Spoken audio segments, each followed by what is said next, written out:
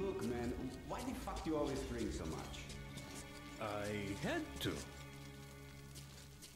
Fuck that, man. As if you have nothing better to do. The fuck better.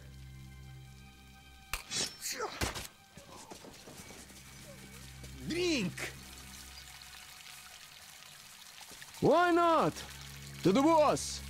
Secretary General Comrade Moskvin. To the boss!